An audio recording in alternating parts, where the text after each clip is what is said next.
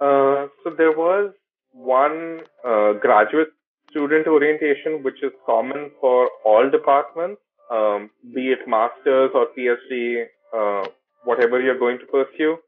Um, and there is one department specific orientation that happens after the graduate student orientation occurs. So There were two orientations in all.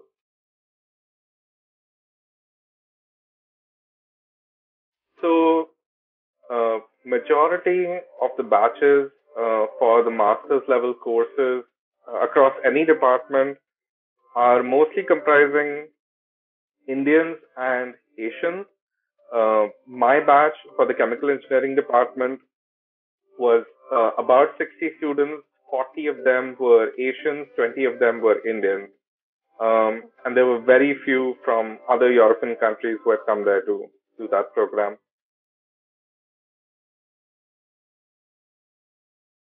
Uh, so the schedule is going to be hectic, um, regardless. It's, but there is so much ha- happening on campus that if you only focus on academics, you are really going to miss out on a very important part of coming abroad to study. Um, in terms of activities that happen, there is um, the Indian Graduate Students Association, it organizes Diwali festival, Holi festival, and several several dif- different events throughout the year. Um, like they screen cricket matches, they screen football matches, they screen Hindi movies once in a while. Um, there is also drama and dance and uh, that kind of stuff that goes on. The Carnegie Mellon Graduate Student Association also organizes a lot of activities uh, such as skiing, um, kayaking, um, different symphony orchestras, different plays that you can attend. Uh, all of these are not free, uh, but they are very subsidized for all Carnegie Mellon students.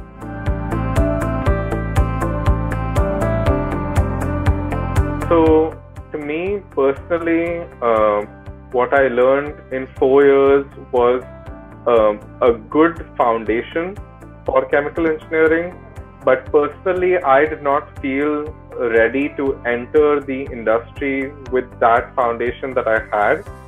Um, so I felt like I needed to give myself a more deeper understanding of chemical engineering and a more advanced understanding of chemical engineering before I actually in- entered into the industry.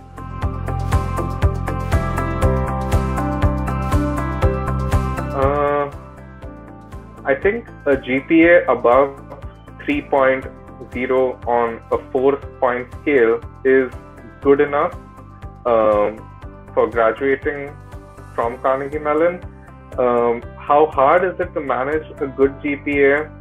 I think, like I said earlier, if you if you overburden yourself with more courses, your focus on the mandatory courses will shrink and you may not do well, and that will in turn impact on a lower GPA. So choose courses wisely um, in terms of what courses you choose. Uh, also, speak with your immediate seniors. There are certain courses that are really easy, and there are certain courses that are really difficult. So, it is important to maintain a good balance between the really difficult courses and the really easy courses.